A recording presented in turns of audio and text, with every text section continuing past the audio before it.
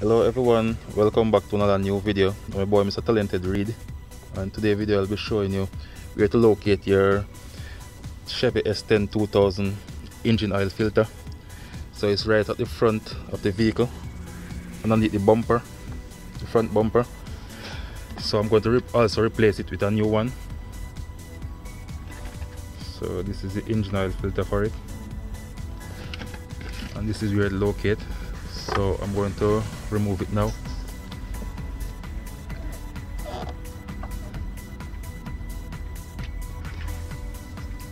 So when you remove it you're gonna need a container to catch your oil so you don't mess up the, the area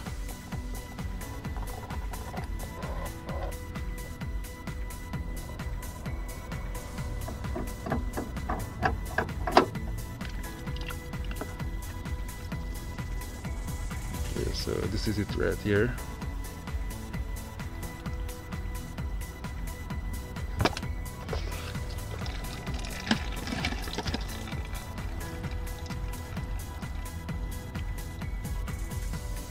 Okay so this is a new one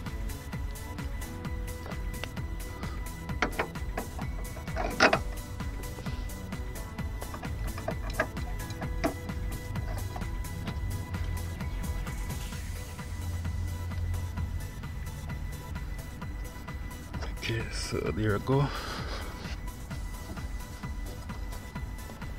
so guys that's how you replace your engine oil filter on your Chevy S10 2000 pickup truck.